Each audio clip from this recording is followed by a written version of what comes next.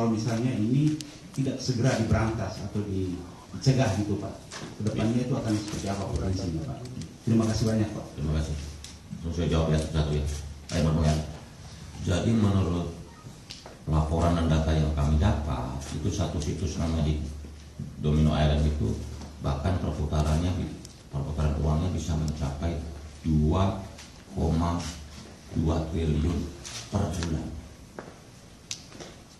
150 juta dolar.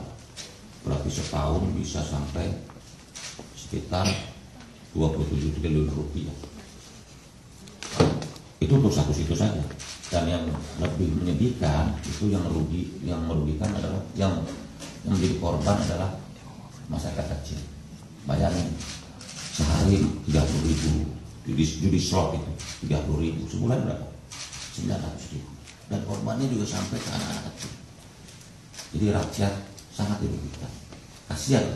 Gitu. saya juga menghimbau kepada seluruh masyarakat kasihan ini kan uang yang harusnya bisa digunakan untuk hal yang lebih baik jadi sia-sia gitu. begitu. Nah, ada lagi? Taruh kok serius banget ya? Serius pak? Enggak biasanya saya begini nih. Oh iya, iya. kamu nanya serius-serius gimana